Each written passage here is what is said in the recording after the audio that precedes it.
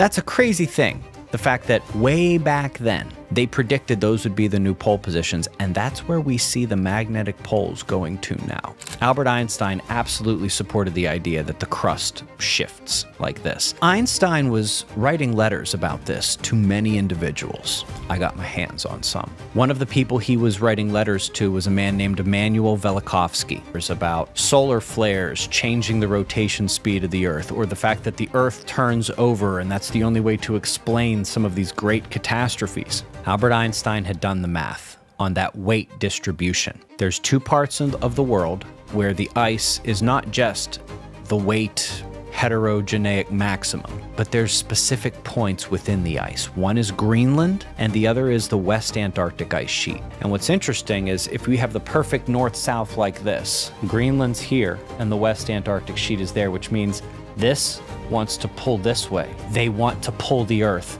in a very specific way. The moment the crust is unlocked, we know exactly how it will tilt mathematically. There's more here than I'm willing to ignore, I guess is what I'm saying.